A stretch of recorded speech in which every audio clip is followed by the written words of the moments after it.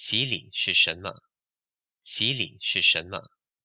洗礼是奉父子圣灵的名，用水一洗，表明且印证我们与耶稣有联属，可以承受恩约的益处，并且自己应许做属主的人。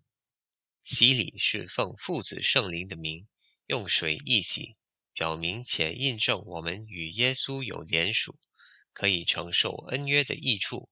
并且自己应许做属主的人。